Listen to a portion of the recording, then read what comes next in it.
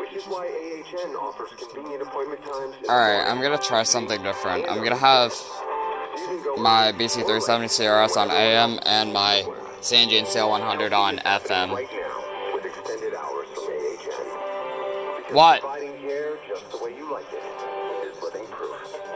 Call 412 doctors for Hold on. The following is a test of EAS. We'll see what happens.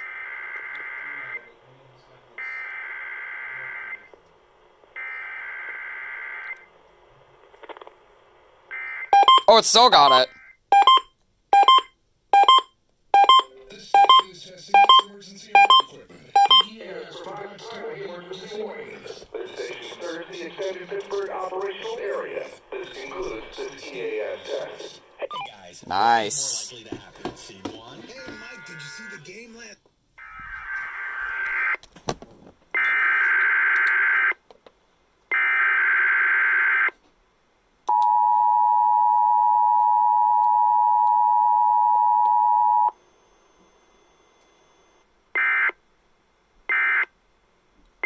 Okay, well, the WHC IPTV live stream, the link is not working for some reason, so I guess that'll be it.